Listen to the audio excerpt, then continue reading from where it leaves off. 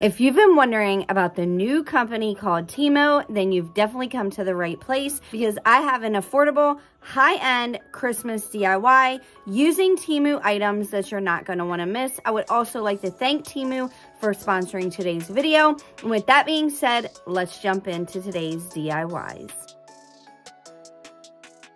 Okay friends, we're going to start off with a little unboxing, but first I figured I would show you the items that I personally chose and just how affordable they are. Y'all, a pack of beads, $3, that greenery, $2, the little trees were super affordable as well, and all of the items super nice quality at an affordable price. If you guys have never heard of Temu, Temu is an online marketplace that offers the most competitively priced products in multiple categories categories like fashion, jewelry, home decor, pet supplies, and many, many more. They also offer top quality products at an ultra affordable price so that everybody can enjoy the conveniences and comforts of life. If you guys want to learn more, you can always visit temu.com or download the Temu app as well. The app is very, very easy to use. I definitely suggest you download the app. You guys, you can also get free shipping. There are so many benefits to shopping with Temu. And not only that, I get a lot of questions about shipping. Y'all, this only took about a week and a half to two weeks to get to me. And it really was not long wait times at all.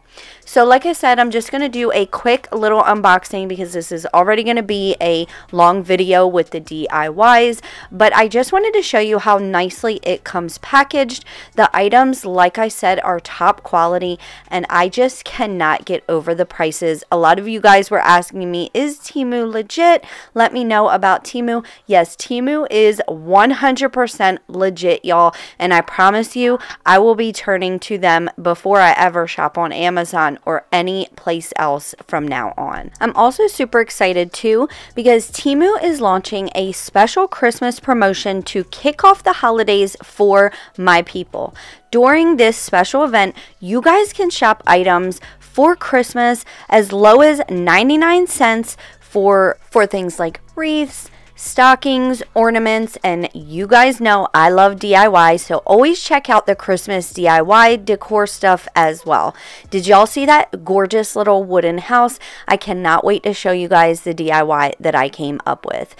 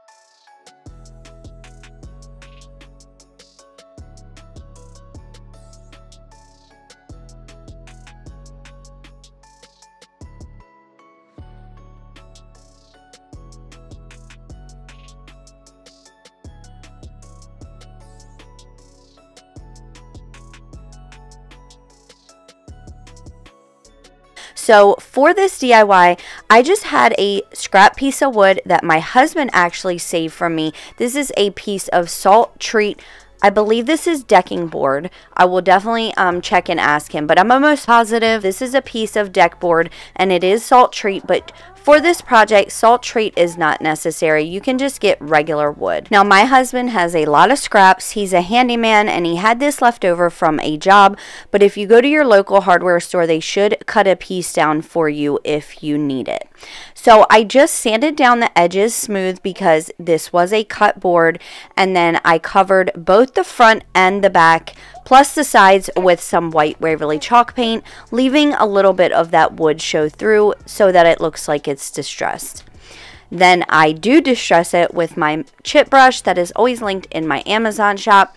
And I uh, distress all of the edges and then I also distress the middle of the board as well with some dry brushing and I do use my Dixie Belle Voodoo stain to do that.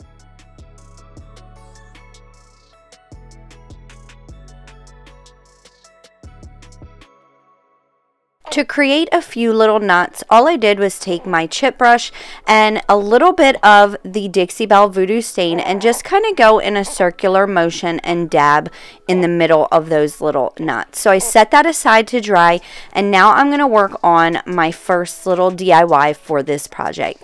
So I ordered this gorgeous little globe with the flower and originally I was going to use it with the flower but because we are doing Christmas DIYs I wanted to make a cute little Christmas globe. So I take this fencing that I got that I also got off Temu and I measure how much I need to go on the inside of the globe. I then use my wire cutters to cut that and then I glue it together with some hot glue.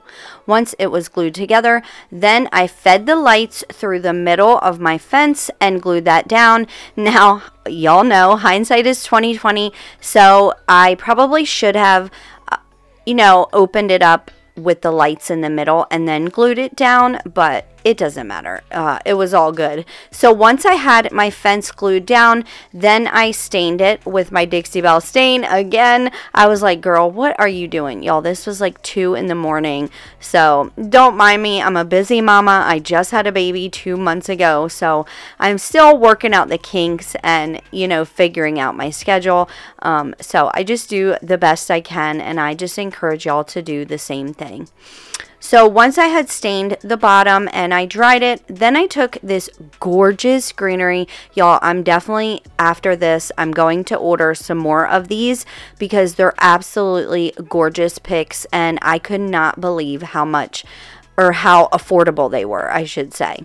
So anyway, I just cut them down to size and then I wanted to make this look like a tree. So I stacked them not going the same way. I like glued one going one way and then I kind of like took the leaves and adjusted it so that it looked like one trunk, if you will, in the middle, and then hot glue that together.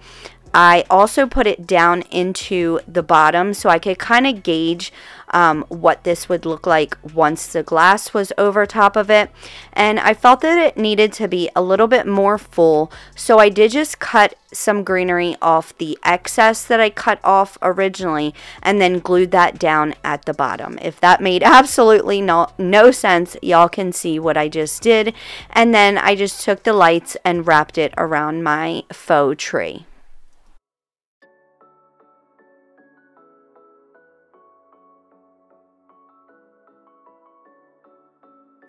After I put my fake tree down inside of the fencing, I then took these berries off of the pick and then just glued them randomly around my tree. As I always tell y'all, if you personally do not like this look, you can totally customize this and change it up to suit your decor or to make your eyes happy. It's totally up to you. Once I was done hot gluing the berries down, then I took this faux snow that I had in my stash. I put a little at the bottom and then I also took took some glue. Now, I don't I recommend not using wood glue. but I was in my kitchen. It was like 2, 3 in the morning, y'all, and I just used what I had right there. And it worked in the end, so no harm, no foul. But I do recommend something like more like Mod Podge, and then I just put some faux snow over that glue dot, over those glue dots put the glass on and look how absolutely stunning this turned out. Let me know down in the comments what y'all think. For the next DIY, I take this embroidery hoop out of the plastic and I stain it with my Dixie Belle Voodoo stain. Once I had that dried, I did hit it with my blow dryer because y'all know I am so impatient. But once that was completely dry, because the problem is if you try to glue something down, the stain is wet and it's not going to adhere to your project. So you always want to make sure whatever you're doing is dry dry before you try to glue anything down. Next, I took both the types of greenery that I bought and I just pick or cut off some of the branches off of each pick and then I alternated between the greenery. So I did the fluffier one and then the next one and so on and so forth. I don't know the technical terms for this greenery. I'm sure y'all will let me know down in the comments. But like I said, I just alternated all the way around this embroidery hoop. I absolutely love the way that this looks. And once I got to the end, then I took some um, white Waverly chalk paint and I just painted that over the branches to look like faux snow and look cohesive with the rest of the pieces. Once I had the snow done and it was completely dry, then once again I added a few berries with some hot glue all the way around the wreath. Lastly, I made a little bow with this red ribbon. And if you guys want to know how to make several different bows, I know a lot of people struggle with making bows. I will leave my bow tutorial in the right hand corner for y'all. My personal favorite is my bow trick using my fingers.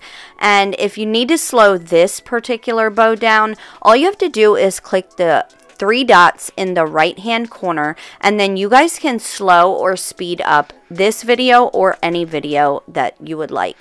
Once I had the red ribbon glued down to the top, then I just made a simple jute ribbon and glued that to the middle of the red ribbon as well. Moving on, I take a jumbo popsicle stick from Walmart and I cut that down to size to fit on the back of my wreath.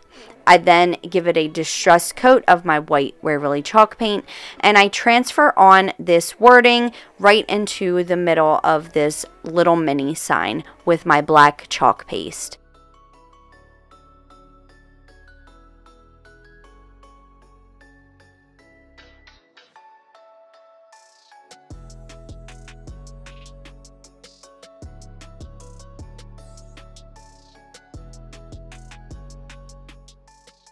Once I peel back my transfer, I reveal that gorgeous image that never gets old peeling back the transfer. But I let that dry and then I also transferred on the little design with my gold chalk paste as well.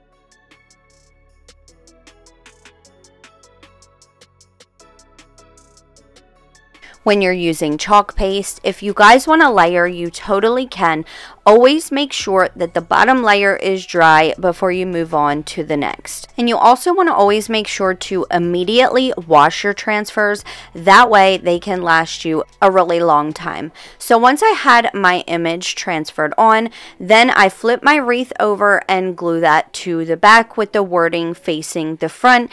And that was it. Look how gorgeous this turned out, y'all. And the best part, it was super affordable to make. I can't wait to hear what y'all think down in the comments comments below.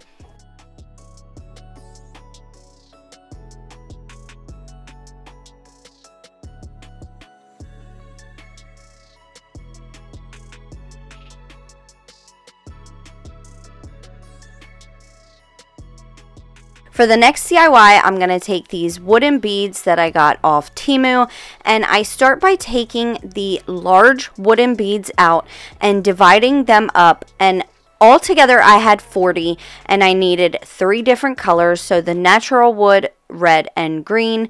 So I put 13 in each bag and then I had 14 unfinished wood beads left over. Now I'm about to blow y'all's mind and show you the easiest way to paint beads. I get this question a lot, so I figured I would show y'all. All you have to do is put your beads in a sandwich bag, put a drop of paint in your bag, seal it up, and then you're just going to use the bag kind of as your paintbrush and make sure that all all of the beads are coated and then you're just going to dump them out on a paper plate to dry. I repeat that for the green beads as well.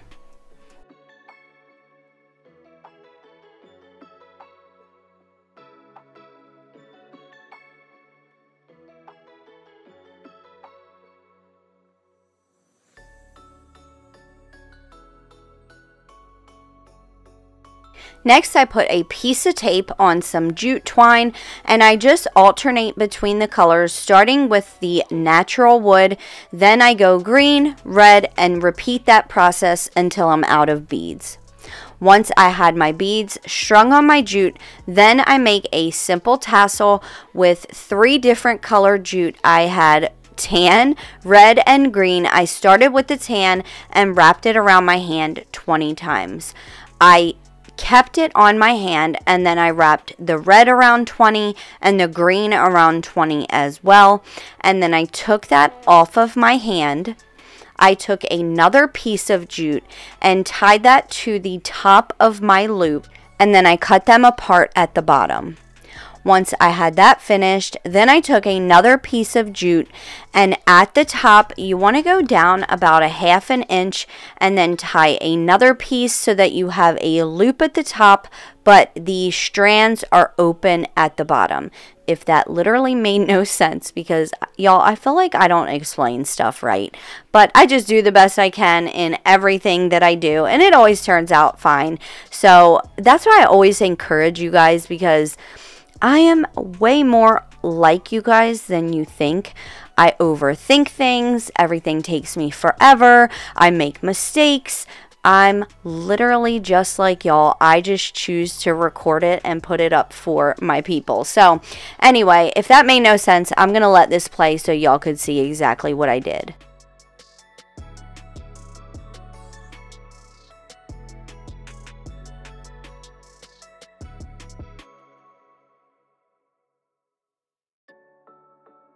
Next, I give it a little haircut. You know, y'all give that thing a little haircut at the bottom so that all the little pieces are straight. So I give it a little haircut at the bottom and then I tie that to one of the ends of my beaded garland. If y'all want to follow my journey and my story, I get crazy and personal and I'm literally on my Instagram stories all day long. I literally live my life out on my Instagram stories. So if y'all want to follow that, head over to Instagram at All Things Crafty 2.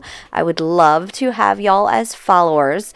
Um, I'm very much out of my shell and in my comfort zone over there. So um, I would love for y'all to hang with me. But anyway, once I was done with the tassel, then on the other end, I ordered these unfinished wood ornaments from Temu.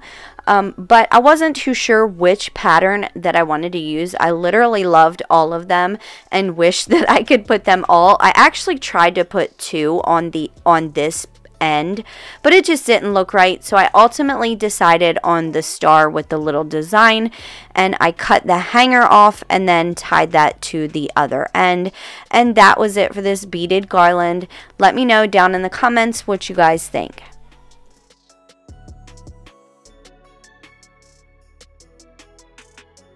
Okay, friends, now we're going to put this all together. So I got this absolutely stunning little Christmas village house off Temu, and I put batteries at the bottom so that it lit up, and I glued my wreath to the front. I love this little house. I would love it as is without all the rest that I'm going to show you, but y'all know I'm extra, so I had to take this way, way, way farther.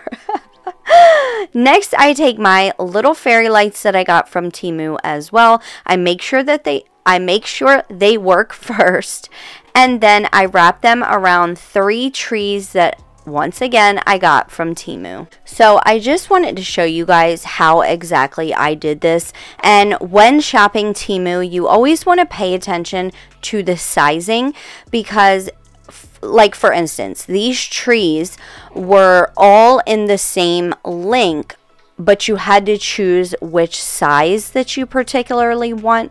So I just wanted to make y'all aware of that. Um, but I also wanted to let you guys know that it is much easier to use the app. So I would highly encourage y'all to use the app. You guys can check that out with the link in the description. And when you guys check out, please use the code KEY399 because that is how I get credit. That is how they know that I sent you. So once I had the lights on my trees, then I went ahead and just kind of arranged everything how I liked. I glued some greenery down to the front and then I also made a few more trees the same way that I did the tree in the globe and I glued those down and put some white Waverly chalk paint on the edges so that it looked like snow as well. Next, I made a simple ribbon and glued that down to the middle after I painted the greenery once again with my white Waverly chalk paint.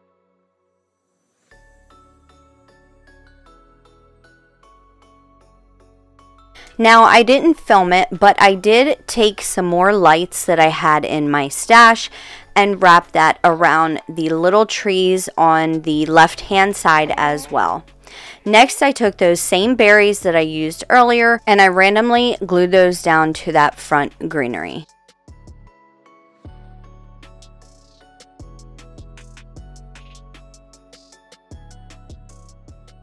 I then had these little paper houses in my stash. Now, you guys, these are super cheap. I don't even know where I got these from, but I definitely recommend to look for something on Temu that's a little bit better because I personally just didn't really like them very much. Um, but I know y'all let me know what you think. Um, so I just glued one of those down in the right hand corner and then I also went ahead and glued all my trees down as well. I like to just set everything out before I start gluing. That way if I don't like the way something looks then I can always change it around. And I did not glue down the globe or my house because I do have to pick those up to turn them on and off. So once my actual little forest village, whatever you like to call it, was finished, y'all know I had to take it a little step further. So I take my square dowels and a sign and I just kind of gauge how tall I need this and you'll see why in a minute. And I cut those down with my miter shears and paint them with my white Waverly chalk paint. Next, I use my Weldbond and some hot glue to glue my uh, square dowels to the back of the sign, and I repeated that for the next side.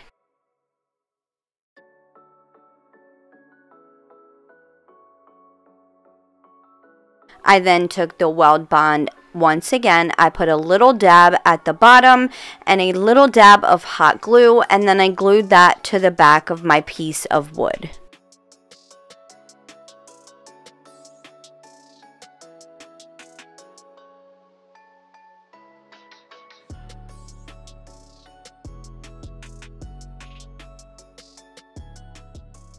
Then I take these super cheap but extremely high quality little lights from Temu and I start by untangling them. They were nicely knotted up. That way they didn't get all tangled in transit. And then of course I put batteries in the battery pack and look how gorgeous they are all lit up. Now originally my idea was to string these lights from one dowel rod to the next underneath this sign. However, once I was done, I really did not like the way that it looked. It was okay, but the lights were uneven and my OCD was not happy. Y'all should have seen me. This was like 4:30 in the morning and I would not rest until I had this thing absolutely perfect. So I figured that I would shut the lights off so that I could kind of see what I was working with with the lights. So I shut the lights off and then just turned all the lights on. And I quickly realized that I absolutely hated the lights hanging. So I just cut down the dowels and I glued this sign down a little bit further and then I just arranged the lights on that front greenery and you guys OMG I absolutely love the way that this turned out. I love all of my Temu items. I want you guys to go shop because you guys are going to go absolutely nuts. I want you to buy yourself something we often forget about ourselves, but on Temu, you can buy other people's stuff and your some and yourself something as well. So I would encourage you guys to check it out. Check the link down in the description box as well as in the pinned comment. And when you guys check out, please, please, please use the code KEY399 for 30% off as well as that really helps my channel and lets Temu know that I sent you. So with that being said, I want you guys to know that I love you with all my heart and soul. None of this is possible without you. I want to also encourage you guys to step outside of your comfort zone, do things that make you a little nervous because in the end, you'd be surprised at how well it turns out. If nobody has told you today, you're absolutely stunning, you're worthy, you're gorgeous, and you can literally do anything you set your mind to. I want to thank Temu for sponsoring today's video. Y'all don't forget to download the app, go shopping, get yourself something. Check the link in the description box type in the code key 399 once again. And if you guys want any chalk or ketone info or if you guys want to get alerts and be a part of the text crew text my number on the screen. Until next time i love y'all so much. Bye. Check out the videos that are popping up here to your left while you're waiting on my next upload, or join the DIY fam here to your right.